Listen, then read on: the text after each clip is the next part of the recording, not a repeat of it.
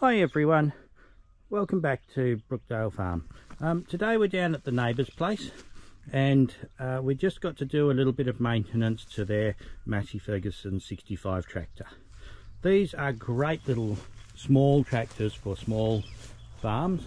Um, they've got a four cylinder Perkins diesel in which I think is about 65 horsepower. um, they're one of the the little light tractors they're a very reliable little tractor generally.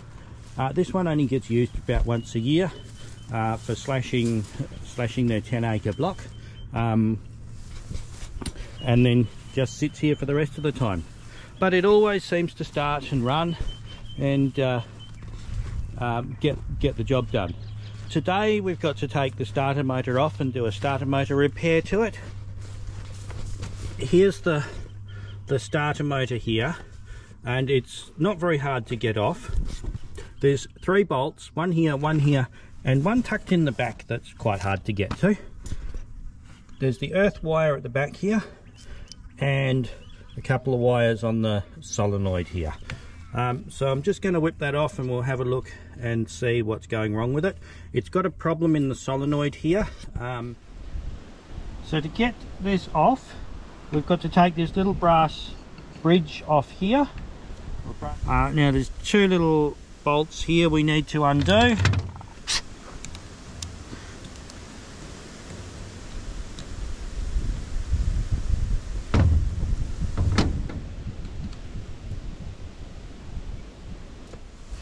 Now the other thing we need to do here is there is a wire soldered on here. We need to undo that solder there and it looks as though there's also wire soldered on here so we'll need to unsolder that as well before we can pull the back off this solenoid. Okay, so we've got our soldering iron hot. Now, old solder always takes a lot more to melt than new solder. For some reason it seems to work harden a bit um, but also we're going to have to heat up a fair bit because we need to heat this tab up here before the solder is going to start melting. So we'll just take a moment to, to melt this solder.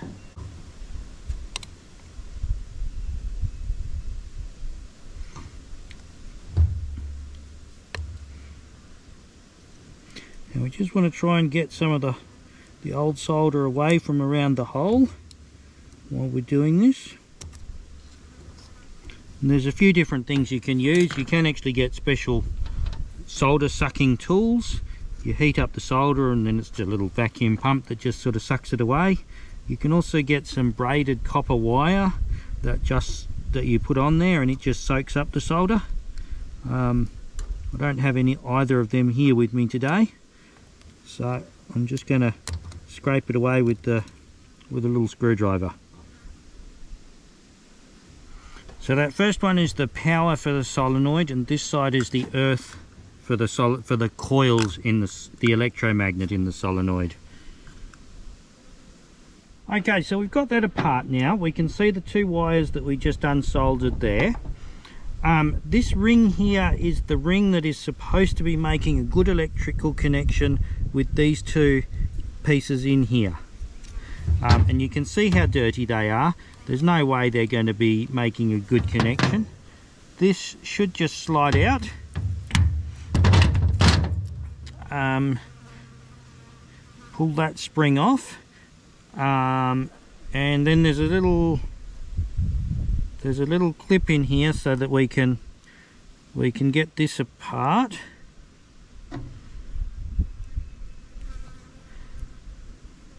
Oh there we go. The washer comes off first then the clip slides out um, and then we can get this off.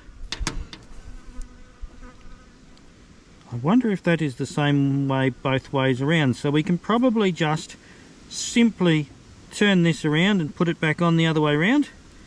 Uh, that's a nice clean new face on that side.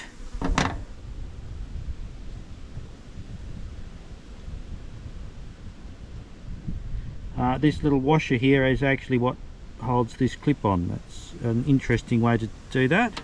Okay, now to clean these up, we're going to take them out. This one here is actually quite worn.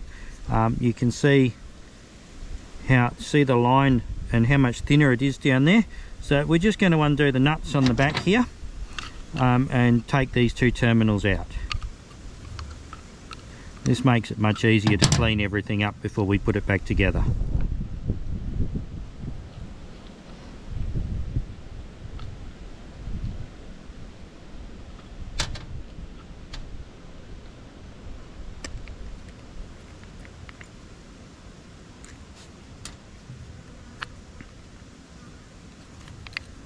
whenever you're taking things like this apart just remember which way round it goes back together. Um, I just like to put everything in little piles that match up uh, so that I know where all the bits came from.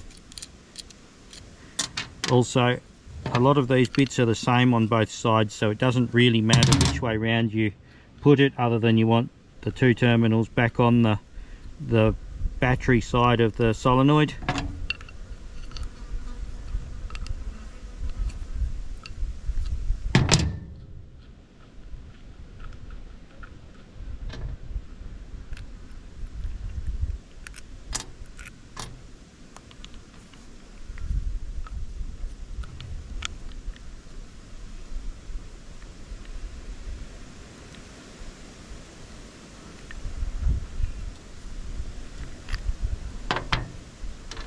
Okay, so there are our two terminals. Um, here you can have a better look at just how worn this one is and how pitted it is. They are going to work again. We're going to make them work again um, because we don't want to spend too much money on fixing this tractor up. It doesn't get enough use. Uh, so we're just going to clean these up and they will last for another few years like that. So ideally with these you want a nice flat square smooth shiny surface. Um, because of how worn this is we're not going to get it back to that. I've just got a file and I'm going to give it a bit of a clean up with that and then a bit of emery paper.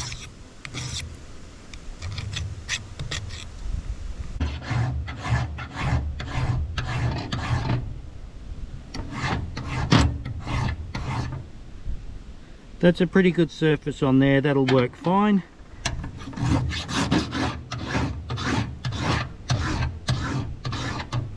The other thing you can do with these is build them up with a bit of silver solder um, and that uh, and then make a nice flat smooth surface with that.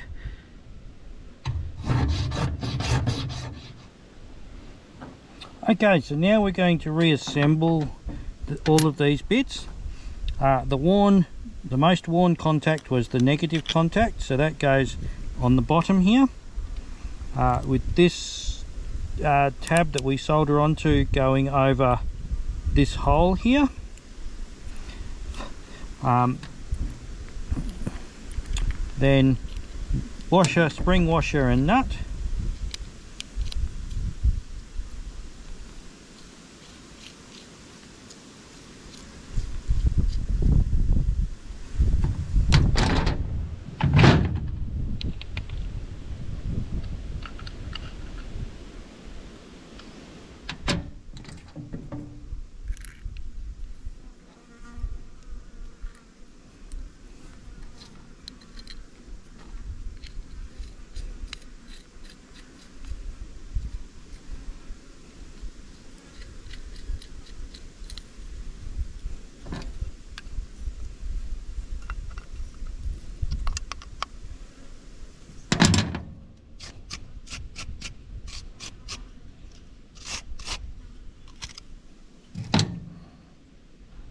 Now I like to put just a little tiny dab of grease on the contacts. Graphite grease works well if you've got that. A lot of people say don't put anything on.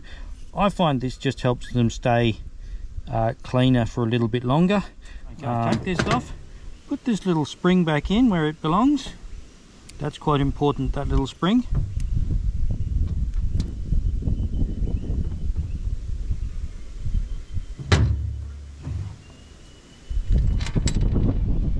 Okay. Washer. Spring washer. Nut.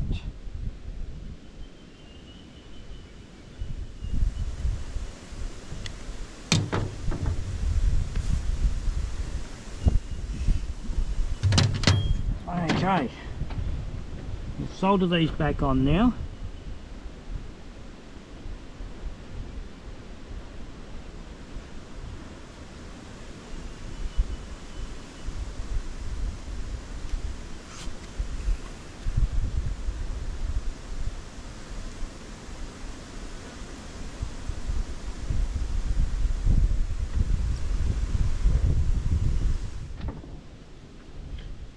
Okay, so the brass connection can go back on.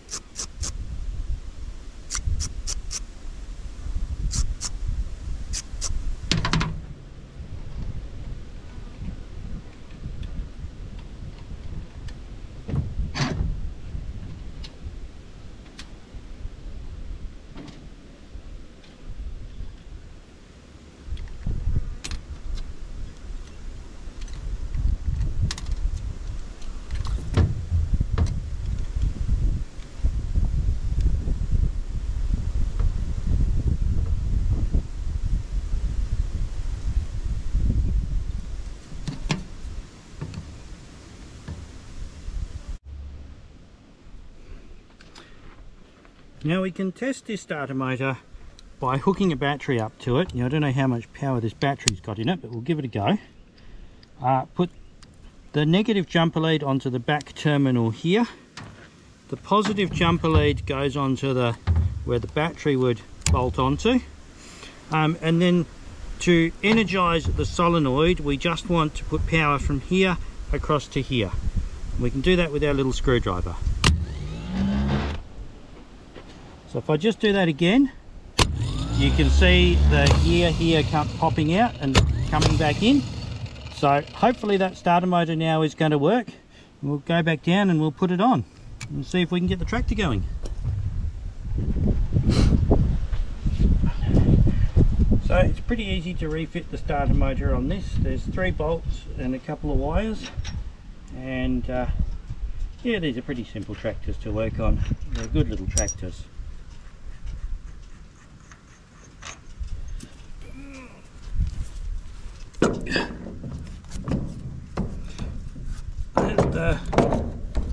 Back bolt on it is a little tricky to to get a spanner onto. Um, but other than that they're just they're, they're easy tractors to work on.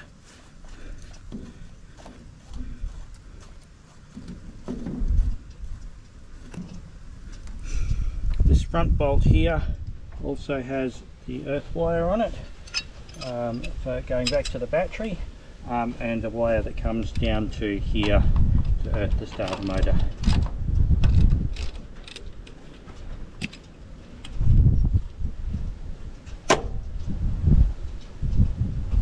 actually went behind the starter motor.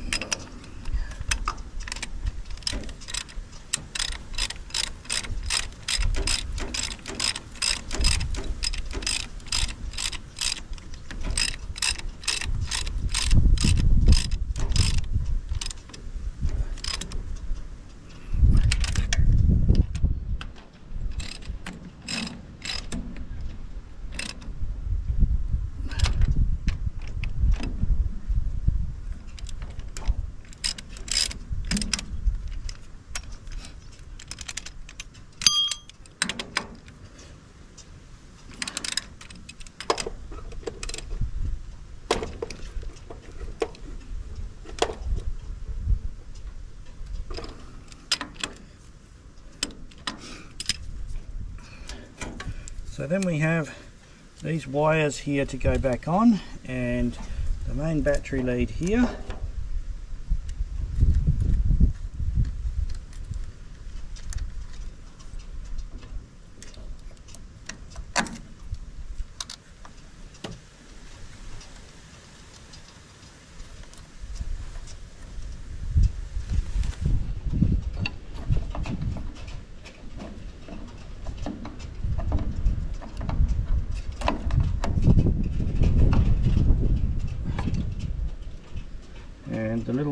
To activate the solenoid.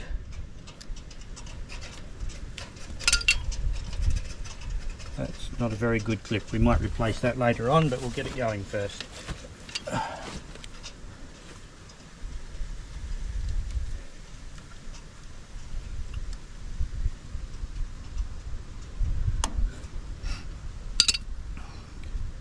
And the earth wire on the back here.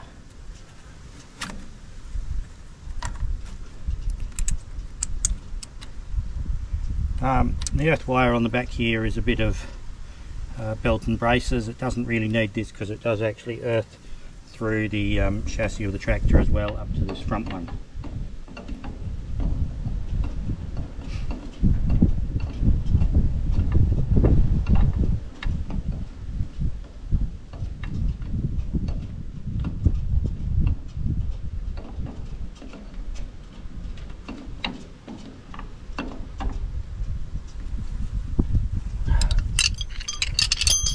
Alright, we'll put the battery back on and see if it's going to run.